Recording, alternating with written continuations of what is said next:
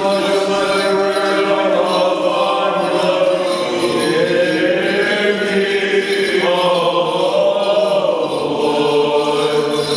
my prayer be said forth in your song.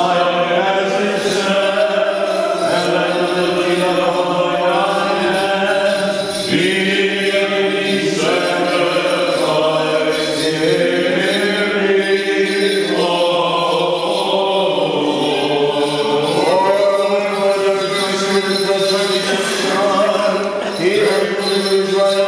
you.